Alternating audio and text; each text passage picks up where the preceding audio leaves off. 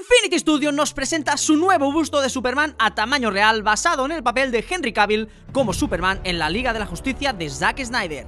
Este busto 1-1 tiene un tamaño deslumbrante y detalles asombrosos. Cada parte está hecha de acuerdo a la película original con pintura de alta calidad, trasplantando más de mil pelos de alambre de alta temperatura y la réplica real de la piel con silicona médica platino.